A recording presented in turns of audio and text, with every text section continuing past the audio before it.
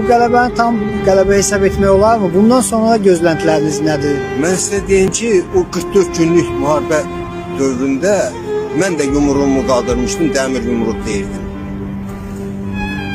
Və bu qələbənin sona qədər gedəcəyinə inanırdım. Çünki prezidentimiz deyir ki, bizi heç nə dayandıra bilməz.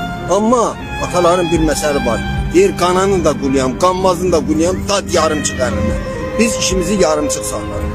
Bizim esas esas nöktemiz Kocalı olmalıydı.